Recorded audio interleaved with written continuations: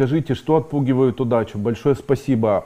Злость проявленная отпугивает удачу. Злые люди удачи не получают. Но есть нюанс.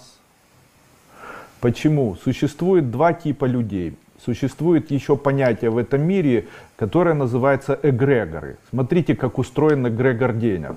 Эгрегор денег устроен так, что человек, который живет, следует желанию своего тела.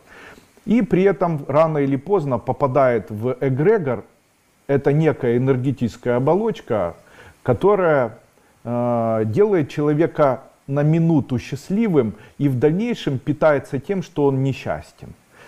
То есть э, такая оболочка, попадая в которую человек хочет то, что дает эта система, но она настроена на то, чтобы человек страдал. То есть она радость забирает. То есть попав в эгрегор денег, вы будете зарабатывать и страдать от того, что у вас их нет.